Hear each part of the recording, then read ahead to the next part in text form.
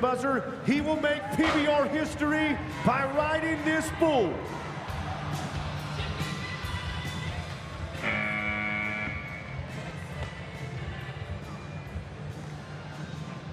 And Big City Nights will remain perfect.